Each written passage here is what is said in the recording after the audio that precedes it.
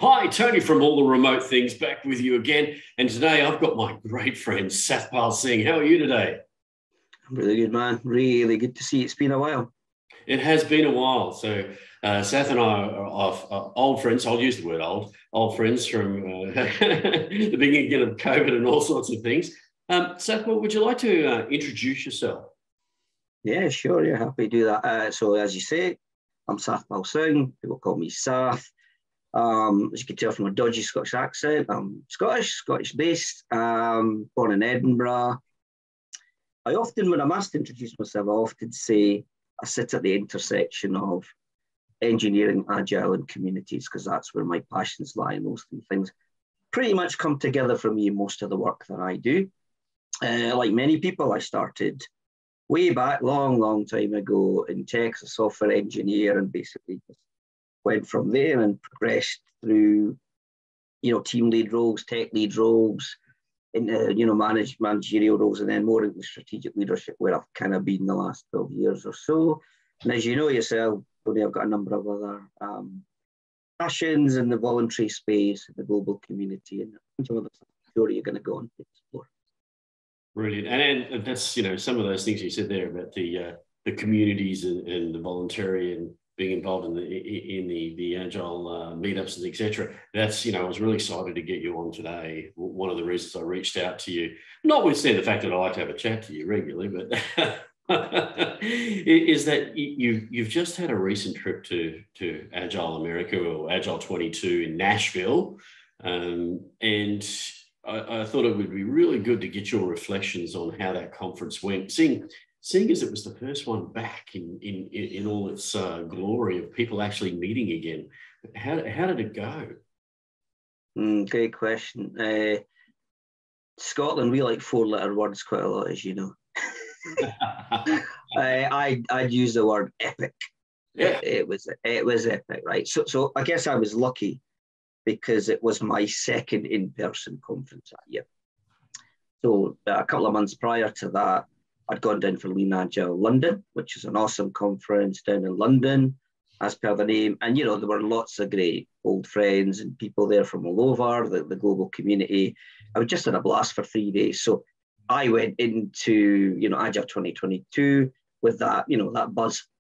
But, you know, it was on a different scale. That was the thing, right? Because the thing for me was, you know, we were going out, well, firstly, Scott, well, Scott's ever right for the benefit of your audience, but you know which Scott I mean, right? My good friend Scott, he and I are, you know, great collaborators together. We were a bit shocked when we got the email coming through going, you know, you basically, you know, you're coming to Nashville. And we're like, ah. So I, I basically got in touch with him. I said, we're going to Nashville. And he said, what are you talking about? And I said, read your email, phone me back. So he went away, checked his phone me back. We're going to Nashville. And it was great. I mean, it's such an amazing conference scale of it. Uh, well, okay, I was double hatted. So, you know, I was like both a speaker and a purple t shirt, right? Mm. Which people who don't know is, you know, that's the amazing volunteering team yep. who, you know, look after it all. And um, yeah, it's such a privilege to do both. But the venue's huge.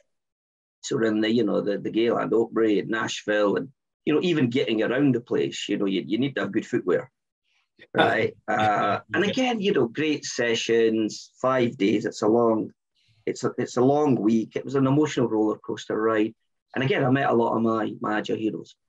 You know, so to get time with Diana Larsen and you know, hang with Esther and you know, catch up with Lisa.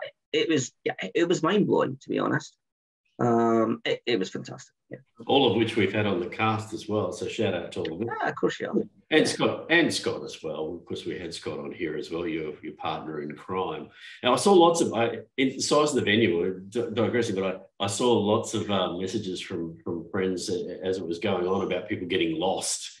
Um, so yeah, did you make it on time and all those sorts of things? So hold on, hold on. Uh, that, that, that, how I mean, I, I think if I, if I get into the details of that, it will consume the the, the, the totality of this conversation because there's many good friends of mine. You know, and you probably saw it, some of it on Facebook as well. I had a horrendous traveling experience. Oh yes, yeah, yeah. You let's just say yeah. you, your your flight didn't go as well as it should. That's what. Well, we'll, we'll, we'll summarize it as United somehow managed to screw up every single one of my flights. so I basically left Edinburgh late uh, and then got into DC because I went via Dulles, got stranded in Dulles, and then had to be put up overnight.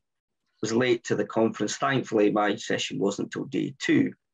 And then on the way back, I got stuck again in, uh, in Nashville, although I was lucky enough to have a wonderful lunch with Diana. So that, that more than made up for it. Um, and then I basically got stuck in Chicago well, on the way home. There's worse places in the world you could have ended up, you know. So I agree. I agree. So it, it, it's interesting. You talked about your session. So that was one of the reasons I, I really reached out to you was because, you know, obviously you, you, have gone to such a great conference, but you were doing a fantastic World Cafe on, you know, make, making communities work in a hybrid world. So I'm really interested to hear how, A, how it went because you, you ran it, ran it at the conference. And then B, we'll talk about a little bit about the outcomes and, and the themes and things that you, you heard from all of that. Oh, good, good, good show. Um, yeah, it was brilliant. So we did it on day two. As you say, it was basically to explore, you know, the challenges of creating, you know, communities that really thrive across like global enterprises. You know, you're all about, you know, remote as, as per your, your podcast, and that's a challenging thing to do. And Scott and I are big fans of the World Cafe type, you know, event, that that that construct. And the reason I like it uh, in fact, I'm doing a lot more of it in my work now. I'm taking it. In. So I work in, you know, in the, in the UK financial services sector, and again, large, complex global enterprises, uh, lots of traditional silos, and all the rest of it. And the World Cafe is an amazing way to bring people together to have powerful exploratory conversation. Right. What we did is we come up with a bunch of questions just to seed the, you know, the conversation. I think we had about 35 folks showed up. So a really nice number for a workshop, right? Uh, so that was really cool, and they were really engaged. And, you know, we set out the questions across the tables, and the whole point is it's a democratic piece, right? So people just wander around, you know, they look at the questions and decide what, what interests them. They take a seat, right? And it, that's really the whole analogy. If you just walked into, you know, a random cafe and sat down with some strangers at a table, you'd probably have some bloody good conversations, right? And that's what it is. And, and, it, you know, it surfaces great insights, learn from one another. And the point of it is, you know, you are giving everyone a voice.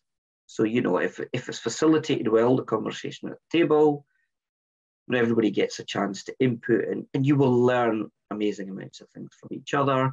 And then you repeat it a number of times. You get up physically wander to the table. And it was great. We had a lot of fun. We played music. Scott was dancing, you know, he was in his kill. And we, we had a blast. No, no, no. That's, that's, that's, supposed to happen. Yeah. yeah, that, look, so that, that sounds really interesting. And, and as we were talking previously, you know, I, I wanted to pick into some of the insights because, you know, the hybrid mm. thing, the hybrid thing. So we all know how much organizations struggle with and are struggling with now, right? Moving into just complete remote. But then add in hybrid a mix of, you know, we're here and we're there. And we know that organizations are, you know, grappling with that now. So I'm really interested to hear some of the insights.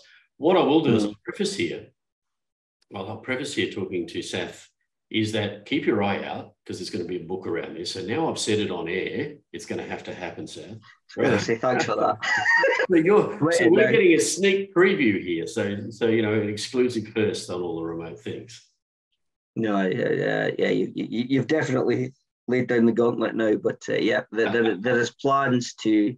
So Scott and I have been in this space for a good few years, but you know, much like yourself, I think the last two and a half, three years, you know, when COVID got serious and we all basically pivoted to this, you know, dispersed way of working and then trying to build remote teams completely in their totality and then going back to hybrid model, you know, I think for me, and I spoke about this in other podcasts, I spoke about in other panel discussions, is the, the complexity around how you have effective collaboration, right?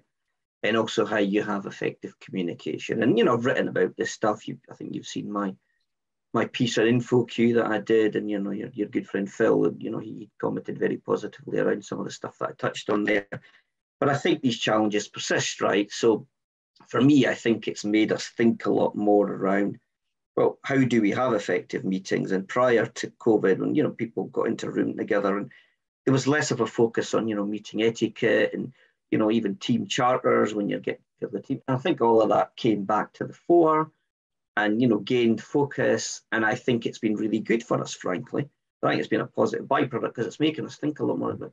But is that an effective way to communicate? You know, it's like you're on a meeting and you've got some people physically in the room and you've got some people like you know on the end of a call and obviously they're not you know they're not on a sort of you know spider phone where it's you know it was just audio. They're on like you know like on a screen. But if you don't facilitate the meeting well what happens? The guys on the you know on the end of the call on the screen they kind of get excluded right? Exactly. They get excluded and they're not part of the conversation. So I think it's it's made us all think more about effective meeting facilitation. Yeah, I, I agree, and I'm, I'm, on record. And you know, anybody who's watched a few of these castle guys is going to say it again. Well, I am. I don't like the word hybrid, right? And, and it, my my feeling around it when you facilitate is that if anybody's not in the room and they're on a screen, then you're remote, and you should facilitate it in a remote mode and thinking about how you have that interaction between the remote here or the remote there and exactly what you said. I absolutely agree with you. You can't, you, you, you have to do that. Otherwise, you facilitate it well, or people are just not going to go well. And they're going to be disengaged. Correct. And that's the thing, right? It's how do you build effective engagement? Meetings are hard enough as they are, right? Yeah. And most of most of us are drowning in. I mean, my, my old calendar at work is it's full. You know, I have like sometimes quadruple booked, and I'm not going to make a choice. So which which of these meetings am I going to? When I go to a meeting, you know, I want to see agendas. I want to know why I'm there. I want to meaningfully engage. And a bit like some of the stuff that I think Elon Musk had advocated at Tesla, like you got a meeting, it's because you feel like you can add value and you're going to get value from going. If neither of those two boxes are ticked, it's not the meeting for you. no, exactly right. So, so, so, what are some of the trends that came out of that World Cafe? Give me a little bit of a, a, a tip of, of, of, the thoughts that came out. The people, obviously, there would have been things that people were struggling with that would have come out, and then mm. some some of the things that people were saying about how you how you resolve some of those. Interested to hear. So, uh, I, I, don't think many solutions as such came out, and I think that probably says it all, right? And yeah, I think because I think we we don't have all the answers, and I think that's one of the hypotheses that Scott and I are regularly testing.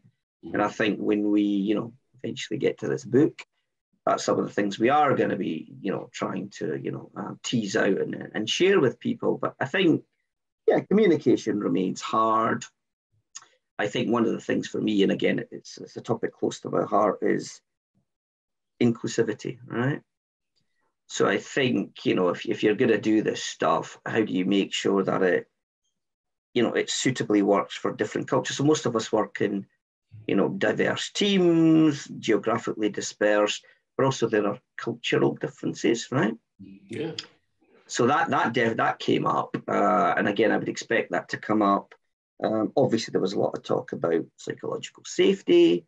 One of my real pet hates is you go into a space and somebody somebody verbally just says, "This is a safe space," and I hate that because as soon as they do that, it's like, "Well, is it? Why do you feel the need to call it out?" Right? It's only a safe space if people feel like it's a safe space. Yeah. And it will either feel like one or it won't. You saying it doesn't make any difference. And the fact that you say it, I think, is is almost counter to that, in my own view and opinion. It's a bit like, you know, you and I have a call and I go, Tony, you, you, you can trust me, man. You could totally trust me. As soon as I say that, you're probably not going to trust me, right? You've left, right? You've gone. I mean, does that make sense? You see what I'm saying? No, it makes absolute sense to me, and I, and I think you know, you, you demonstrate that space by the the, the atmosphere and the yes, it's an ecosystem. It's its own little ecosystem, right? And then you you demonstrate that by how you facilitate it, how you how you um, allow people to act and, and and talk within the conversation, making sure that it works that way. You don't have to come out and just go, it's a safe space because, like you said, well, one or two things as you said, people are going to leave, or people are going, they're on edge. They go, oh, I don't want to say anything because it's a safe space. I better not say anything, right? So, but it's it's It's just making sure that, that, that you you set it up in a way that's equitable to people to allow them to to function in in that mode. So just before we move on, one of the things that I come back to repeatedly. So I do a bunch of stuff I have done over the last few years with my good friend April Jefferson. Right? Oh, yeah, so that. April sadly, cast, yeah, yeah. Yeah, so sadly, April wasn't in Nashville because I was really looking forward to seeing. I was messaging her. I goes, "I'm going to see." She goes, "I'm not coming. I'm not going to make it." I was, I was, I was devastated. I'm not going to lie to you. But when I've done stuff with um, April, and April asked me to co-host uh, one of her global opening spaces and her open oh, space yeah, yeah, stuff, yeah. right? Yeah, She does an incredible job of you know creating this space and this vibe, and you feel like you belong, right? So a lot of this of belonging, you know, I'm sure we might touch on that in terms of community because that's a lot of what I'm interested in. How do you create a sense of belonging? But it feels like a safe space. It operates like one. And the vibe is such, right? And then people share, they open up. And it's a safe space, but at no point does she sit there and go, right, in a safe space here. She does it through the way she creates the atmosphere, yeah. right? Uh, world cafes, I think, are the same. Um, you know, if you're doing, you know, fish bowls or any of these things which are derived from your liberating structures, and you're using them really to, because these things are there to, you know, I guess they are exemplars of great interaction pattern. Yeah, yeah. That's a, that's a good segue because you know one of the things I wanted to talk talk to you about also just sort of stepping away from that now, but but it's the same theme, right? Um, you've got a wonderful uh, community, the Agile community, the Future of Work Scotland that you've set up. And, mm. and I say that because I, I was invited to, to be involved in it. And the, the welcoming space um, is exactly what I experienced prior to actually being there on the, the particular, albeit through screens. but it, I could see the vibe and the, and the feel of that. So, talk to me a little bit about that particular community because it's a really great community. If people don't know about it, they should. No, I'll, uh, I'll, I'll give you some info if you cheer it at the end. Um, no, no, it was great. It was great to have you on. And I think, well, I think when you came on, that that was at the real height of the pandemic, right? Absolutely. It's great to have you on talking about what you were doing with Remote AF, right? Uh, and I think the point, like you said, is we pivoted to the virtual um, model very quickly, quite early on, probably before a bunch of other meetups did, because we did the, you know, we did all the things everybody else did. It was a local, you know, Edinburgh-based, you know, community. So you only came along if you, you know, you were you were you were close to Edinburgh, and then obviously COVID happened. You know, we had a an event planned with my good friend Martin Hinshelwood. You know, he's active in the in, Scrum community. A lot of people know him. He's, he's a great he's a great PST trainer. I've been on a few of his courses. Um, and he was due to do a talk with us, and it was going to be in a physical space. We cancelled the venue, you know, cancelled the catering, and pivoted to, to do it online. It went really well, and we took it from there. But over 2020, when you you joined us as well in one of our sessions, it was a fantastic session.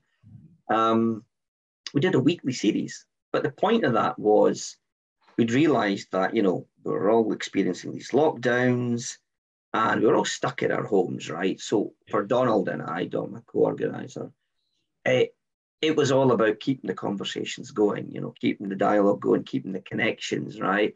And a lot of us, you know, the my passion for, for that particular meetup is really we are introducing new bodies of learning to our community, and most of them won't likely be aware of, of, of this particular subject matter or topic. And we're giving the speakers a platform, and you know, amazing, you know, um, speakers like yourself um, are doing great work out there. And a, we want to give you a platform, and, and, you're all very generous with your time and come along and, and share your insights. And if one person leaves an event like that and learns something, that's a success. Yeah, that is exactly right. It is exactly yeah, right. So casts exactly the same method on these casts. If one person watches this and takes something away, that's the intent of it. And I think you know to your to your earlier point about welcome, etc. Just quickly is, I guess a lot of it. I guess a meetup, an event will feel the way based on the personalities of the hosts, right? Yeah. So I'm the host of, of these events, right? And I have a certain personality, and I guess it comes back to sort of the authenticity, right? I'm the first to say I'm not everyone's cup of tea, the way I conduct myself, and you know, I'm, I'm chatty, I'm lively, I'm uber extrovert, right? But that's how I run and host my events, right? If you come along, you'll be well welcomed. You know, everyone means everyone, right? And, and Scott and I often talk about that a lot. It's a big motivator for us in the global community space. But we have, we've got people who come from all over the world. And when we first did that weekly series, we had people from like places we couldn't imagine, right? We had people from Johannesburg, you know, they came across quite regularly for a while. We once had some chappie join us from Lebanon, and we couldn't for the life, yeah, we couldn't for the life of us understand how that individual had even become aware of the group. Wow. You know, you, can tell when you've got a community that's vibrant when it starts to reach out like that. And you know, my, my hats off. Like I said, I I really enjoyed it, and it was just that that, that welcoming vibe that, that got it going. And as a speaker, when you get that, it makes you you you, you, you you're already tense because you know you're going to be talking to a bunch of people, right? And then you have that you have that that sort of cradle there that sort of says, "Oh, okay, yeah, this is good. This is going to be fun." So it's it is good fun. So I'm just gonna I'm gonna walk a little bit further to the right and go. You've started your own podcast as well. You know, you know, competition here. No, no, sorry. Yeah. talk to me about, you know, talk to me about what the pod- podcast is about and, and, and, and why you got it started. Uh, good, good, good one. Um, well, can I just say before we go any further, there's no competition because yours is awesome and you're in an operating rhythm.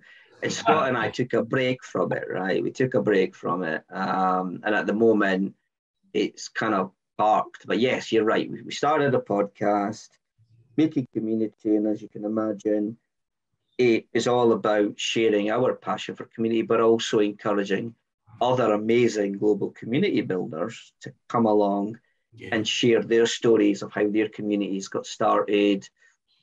Uh, and um, yeah, we, we, did about four episodes maybe. Uh, so, you know, it, it's not gone, it's still there. It's a project, you know, we, we both co founded it. But it actually came about almost by accident, right? So we were on a, I'm trying to think where it would have been. I think it was an Access Agile. So after we did Agile to Reflect, that kind of emerged into Access Agile. I was on there and I was literally about to do a talk. Scott was hosting me. And before we started the talk, we were just chatting away as we often do. You, you know, you've been part of these conversations with us. And we're blithering away, you know. Yeah, a couple of dafties, you know. Uh, as we often are in Scotland, doing the thing.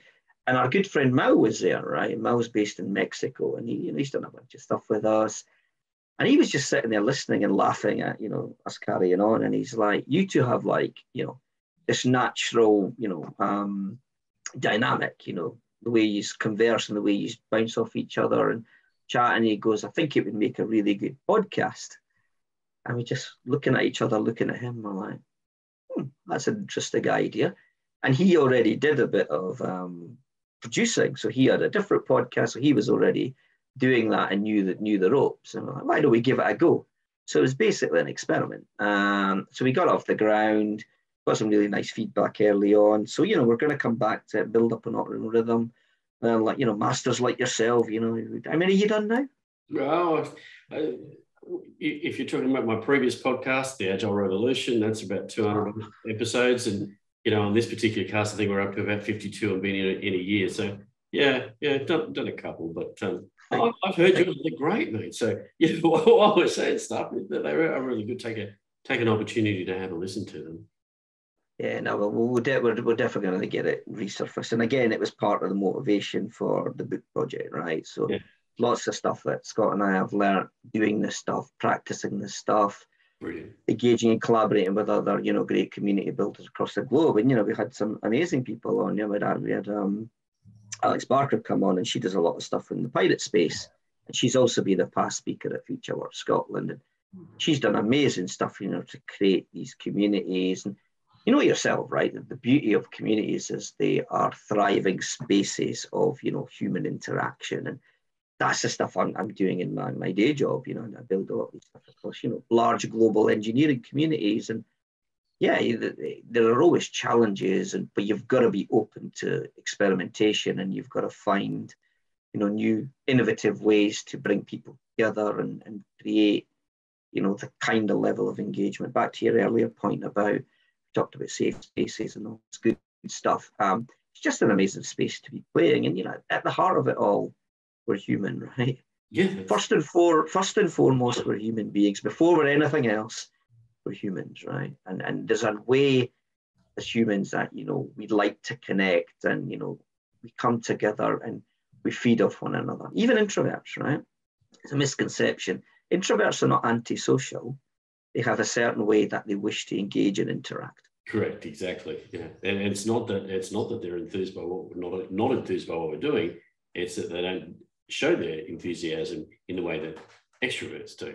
So you have to you have to cater to that, right? So I agree, with you, I agree with you. Now we're getting close to the end of time, so I just want to. Oh, there's something I really wanted to ask you because you, you know you you've been doing this for a while, like I have in the remote. We've been traversing the world in remote conferences, and you know without even leaving a chair. Uh, and we're both agilists. We've both been involved in the, the, the agile community for a long time. Um, where do you see it going now? You know, we, we, remote is not going away. Thank heavens, because that's what I do. but remote's not going away, or, or, slash hybrid. Where does agility sit in this mix? And it's a question I asked um, um, Lisa Adkins, and and you know I've asked Esther and Diana. So I want to ask you your thoughts on it because mm. it's good to for, for people to hear from different points of view from different parts of the world. No, that's a great question. Um, Okay, so for me, right, and again, yeah, I talked earlier about the article that I wrote on, on InfoQ, I'll share a link to that and you, you know, you can put it out there. So I covered a lot of my feelings on this stuff in there, but I think I'd like to see us talking less about agile per se, you know, because sometimes you go to environments and, yeah. you know, the A word has certain, you know, preconceptions and connotations. And I think those of us who are practicing for quite some time, kind of appreciate that. And I think we have to work with that. So I'm doing a lot of stuff now and I'm coaching teams and all the rest of it. But I don't like to hammer home, you know, the agile bit. Yeah. But for me, I think going back to the original manifesto over the last couple of years and everything that we've talked about, you know, in this conversation, for me comes back to the original first value, right? So the people interactions of processes and tools, right? And I talk a lot about this because I'm really, really kind of, I guess, passionate and also committed to the fact that it is reminding us of all the good things about, you know, what Agile was originally trying to do, right? And when Alistair and, you know, Ari and, you know, uh, Ron and all these guys got together and, you know, came up with what they did, that is why they did. And I think sometimes over the last 20 years, some of that has got lost in translation and turned into something else. And yeah, I don't want to get into all the, you know, the you know the framework right. wars and method wars and yeah. all that all that stuff, right? Uh, I'm not going to mention the S word and things because because none of that stuff excites me, right? It doesn't excite me. It's there, it exists. All these tools and methods offer you something. I'm much more interested in, like we talked earlier about liberating structures and the interaction patterns and how do you truly build world-class collaborative teams? And i think we're learning and that's the focus for me. That that's really where it's all going. Some people aren't quite there in their thinking there and you know you'll still see people you know you'll be environments where you know they're pushing certain methods and frameworks they're really in the weeds of you know the, the methods and some nuances are in the framework and they think that's the be all and end all and i'm like well it doesn't really matter and context is everything, right? So whatever you're doing, context is king, right? So I used to be in the digital marketing space some years ago, and we even talked about that. And that it was never for a while. It was about oh, content is king. Go no, content's not king. Context is king. And what we do, context is absolutely king because it is everything. Until you deeply understand, you know, the local challenges, you shouldn't be pushing or promoting any solutions, right? And I think we are getting better at it, but there's kind of still a long way to go. And, you know, I don't want to start, you know, um, talking about, you know, some of the negativity around certain aspects of consultancy. But for me, it's people and interactions. And that's why I'm, you know, I'm in the space I'm in. That's why I'm passionate about building communities. And my my work is definitely in the people skills culture space. Yeah. That's what I do. Day job, and it's what I do in all these other voluntary pursuits that you've talked about today. I think that's why we, you know, there's a certain group of us that tend to gravitate and find ourselves in the same spaces, like you talked about April or, or Diane or, or Esther, you know, we, we gravitate in there. And, and you know, I have a, a, a, particular line that I use, which is, you know, in a book coming out soon, uh, eventually, which is, uh, you know, what we deal in is the collaborative connective tissues, right? Organizationally, um, across the world, or even just in your daily, those collaborative connective tissues horizontally and vertically, and how you plug that in across organizations, that, you know, whether they be small or large, that's the that's the lifeblood, the information flow. That's what you know agility really offered us, and, and that's why I, I, gravitate towards that because you're right, that first principle, right? And and even in the heart of agile, and we won't spend too much time on that, but you know, the collaborator is the one I always gravitate to because if you collaborate better, if you create those collect those connective collaborative tissues across your organization, then you're going to be able to do the other things. Without it, you're not. No, that's brilliant. Uh, I like what you said there. And I've heard you say that before. It's really good. So you just reminded me of something. So one of the the initiatives that I lead in my organization is uh, a community-based initiative, right? And we're creating a global supportive community across our engineer community, of which we are thousands and thousands and thousands across a large global enterprise, right? But I've set out a bunch of principles there around the way we want them to use the technology. And as you know, I'm a real advocate and a practitioner of social leadership, right? So a lot of my talks over 2020 were about social leadership. I've written about that, you know, various articles and spoke about in panels, etc. Right, and it's based on the work of Julian Stodd, who's also been a past um, speaker at Future Work Scotland, and I love his work, and he's a real thought leader. So I'm really just building on his work and practicing and applying it and putting it into practice, right? But one of the things I talk about a lot as part of this initiative is optimization of the flow of information. Yeah. Yeah, yeah. That, that for me op, that's exactly what I was talking about. You know, that optimization of flow information is, is exactly what what in any organization when you come back to it, root cause is truncation of that information. You know, Esther Derby talks about the bifurcation. You know, the, the people here have all the information, and by the time you get here, it's lesser and lesser and lesser, and, and that that's exactly what we're talking about. So, Sath, it's been awesome to have you on. We are right close to the end of our time how can people reach out to you? How can they get involved with any of the things we've talked about today? Uh, yeah, great. No, brilliant to be on, by the way. Great to, great to be chatting with you. I love chatting with you. Um, really enjoyed the conversation. So you talked about Future Work Scotland. That's a meetup based meetup, funnily enough. Mm-hmm. So you'll find us on Meetup. I can share some links. We've got a LinkedIn group. You can search for that. Um, you're welcome to link people, your audience are welcome to link in with me if they want. I'm always open to connections. Uh, and um, yeah, you'll find our, our Making Community podcast on all the usual channels. You know, if you want to check it out on Google or Spotify or whatnot. I didn't really talk about my work in the British Computer Society. I chair their Agile um, committee. So, you know, if you're interested in, in, in, in, learning more about what we're doing there, you know, I'll share some links around that. Um, yeah, there's probably other stuff I forgot to mention, but um, yeah, Future Awards, yeah, one of my, my main sort of passionate yeah. projects. So yeah, the we'll take, we'll take all those things and we'll put them in the show notes. So we'll make sure that people get get in touch with that as well. You know, it's been fantastic to have you on all the remote things. If you're listening to this today, please like, subscribe so we keep this thing going. Talking about communities, Remote AF now has a community. Just go to the remoteaf.co, click on the community button, join us that's all about remote and hybrid and how we make it better. We'd love to have you in that community. It's starting to, you know, get quite vibrant. And Sath, fantastic to have you on all the remote things today. It's totally great to be here. Enjoyed the chat.